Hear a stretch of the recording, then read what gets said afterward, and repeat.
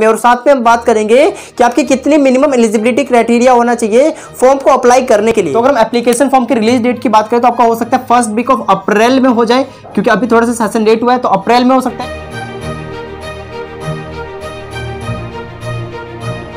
गुप्ता और आज की वीडियो में हम बात करने वाले हैं बिहार पॉलिटेक्निक 2022 के एप्लीकेशन फॉर्म के रिलीज़ डेट के बारे में। और साथ में हम बात करेंगे कि आपकी कितनी मिनिमम एलिजिबिलिटी क्राइटेरिया होना चाहिए फॉर्म को अप्लाई करने के लिए। यहाँ पे हम बताना चाहते हैं, सबसे बड़ा डाउट ये होता है कि भैया, अगर हम 2022 में अपना एग्ज़ाम देंगे तो क्या हम 2022 वाला फॉर्म फिलअप कर सकते हैं? तो हाँ जी, बिल्कुल आप कर सकते हैं। तो चलिए स्टूडेंट हम वीडियो को स्टार्ट करते हैं। आपके जितने भी डाउट होंगे एप्लीकेशन फॉर्म रिलीज़ होने से लेकर और आपको जो मिनिमम एलिजिबिलिटी क्राइटेरिया इसको हम बिल्कुल सही तरीके से डिस्क्राइब करके बताने वाले हैं। इससे पहले मैं आपको बताना चाहता हूँ अगर आप चैनल पे नए हो तो प्लीज़ चैनल को सब्सक्राइब कर लीजिएगा क्योंकि इसके बाद आपके नंबर्स ऑफ़ वीडियोस पढ़ने वाले हैं। जैसे बेस्ट आपकी बुक कौन कौन सी रहेंगी हम आपको बुक की आपकी पीडीएफ वगैरह भी हम आपको प्रोवाइड कराएँगे। सकूँ सबसे पहले स्टूडेंट हम बात कर लेते हैं यहाँ पे देखिए आपका क्या एप्लीकेशन फॉर्म की रिलीज़ डेट क्या हो सकती है। तो अगर हम एप्लीकेशन फॉर्म की रिलीज़ डेट की बात करें तो आपका हो सकता है फ़र्स्ट वीक ऑफ़ अप्रैल में हो जाए क्योंकि अभी थोड़ा सा सेशन डेट हुआ है तो अप्रैल में हो सकता है या फिर ज़्यादा से ज़्यादा लेट होता है तो मई तक आपका फॉर्म आना निश्चित है। और अगर यहाँ पे अप्रैल में आ जाता है तो इसकी लास्ट डेट क्या होगी? लास्ट मई होगी।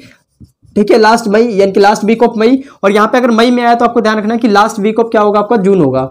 तो ये चीज़ आपको ध्यान रखनी है फाइनली राइट तो हमने आपको बता दिया है कि अगर आपका जो फॉर्म है एप्लीकेशन फॉर्म वो आ सकता है फ़र्स्ट वीक ऑफ़ अप्रैल या फिर मई, अगर आपका अप्रैल में आता है तो फाइनली मई तक जाएगा और अगर आपका मई में आता है तो फाइनली जून तक रहेगा लास्ट तो ये चीज़ आपको ध्यान रखना है। अगला स्टूडेंट क्या है कि आप सब बहुत ज़्यादा परेशान होते हैं कि भाई हमारा एप्लीकेशन फ़ी कितना होता है। फाइनली आपका एप्लीकेशन फॉर्म का जो फ़ी है, वो सात सौ पचास होता है जनरल कैंडिडेट के लिए हम बता रहे हैं आपको। स्टूडेंट अब हम बात करते हैं मिनिमम एलिजिबिलिटी क्राइटेरिया के बारे में कि मिनिमम कितना एलिजिबल क्राइटेरिया होना चाहिए। तो इसकी अगर हम बात करें तो हम आपको बताना चाहते हैं क्लास टेंथ पास आउट होनी चाहिए। क्लास टेंथ, है ना? अगर आप मान लो 2022 में एग्ज़ाम दे रहे हो, तब भी आप भर सकते हो। तो क्लास टेंथ पास आउट होने चाहिए, है ना? या फिर आप पर्सिंग हो, तब भी चल जाएगा आपका।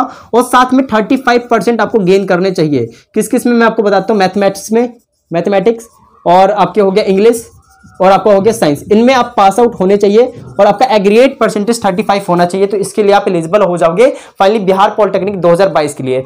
तो चलिए स्टूडेंट हम वीडियो को यहीं पे खत्म करते हैं। अगर आप चैनल पे नए हो तो प्लीज़ सब्सक्राइब करना मत भूलना, क्योंकि इसके बाद नंबर ऑफ़ वीडियो आने वाले हैं। तो इसी के साथ हम वीडियो को यहीं पे खत्म करते हैं। मिलते हैं अपने नेक्स्ट वीडियो में। पढ़ाई करते रहे। All the very best